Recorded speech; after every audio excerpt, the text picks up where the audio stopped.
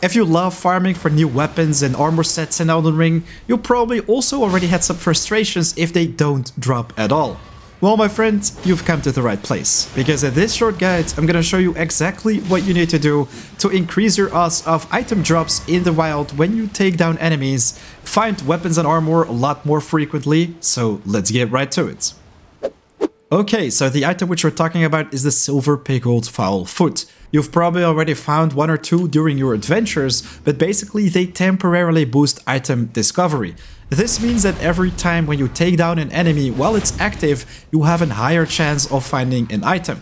This can be the weapon which they're wearing or a piece of armor, in general making it so much easier to farm for those weapons and armor, making it so much easier to get your hands on a certain item. As already mentioned earlier, you can find these during your adventures, but they are pretty rare.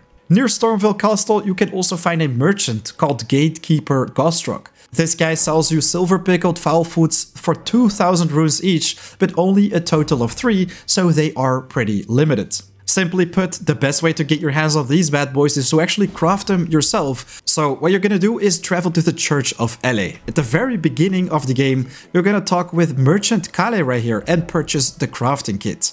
You're also gonna need the crafting cookbooks and then you can unlock the silver pickled fowl foot as crafting recipe. To craft one of those, you're gonna need one rowa fruit, one four-toed fowl foot, and also a silver firefly. All these ingredients can be found in the starting area around Church of Elleh, so they are very easy to get your hands on. Alright, so let's start off with the Rowa fruit. They can actually be found around the Church of Elleh, so basically what you're gonna do is hop on Torrent and search for these little plants. So they are green plants with red flowers actually. You're gonna pick them up one after the other. They're abundant in this forest. You can get your hands on so many of them. Next up, we also have the fireflies. And for this one, you actually want to travel to the cave, which can be found a little bit north from Church of Elleh, which is called the Groveside Cave. This is pretty much the ultimate hotspot to get your hands on all the silver fireflies you will ever need. You can basically just run to the place, pick up every single one of them, kill all the wolves, and then use a quick travel of the Groveside Cave. All the fireflies will respawn, you're gonna rinse and repeat, and get your hands on those bad boys in no time. So I currently have 73 Rowa fruits and 54 silver fireflies, so I think it is time to get our hands on the four-toed Fowl Foot, without doubt the most difficult item of the three.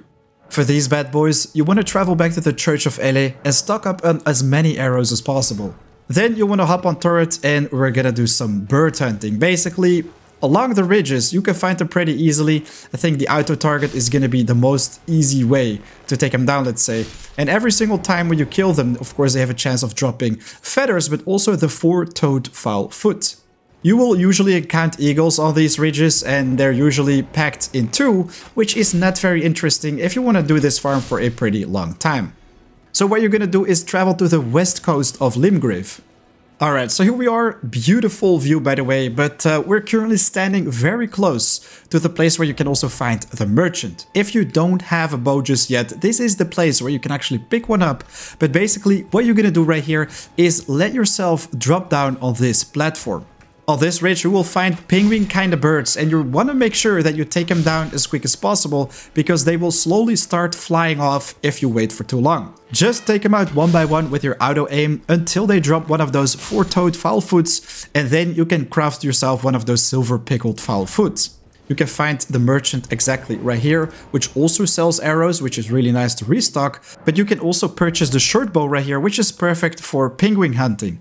Anyways, we just crafted the item which increases the odds of finding more items. So basically what you want to do is travel to the next area where you can find many of these bad boys to make this farm even more efficient. A little bit more north to the beach, you can find even more of these penguins, and as long as your item is active, you should take down as many of them as possible.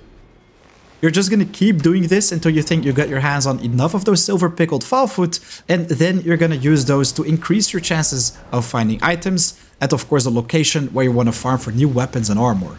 Before you start farming, you should always eat one of these to increase your chances of finding items.